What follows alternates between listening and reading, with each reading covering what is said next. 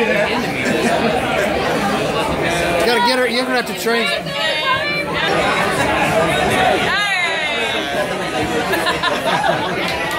Bravo.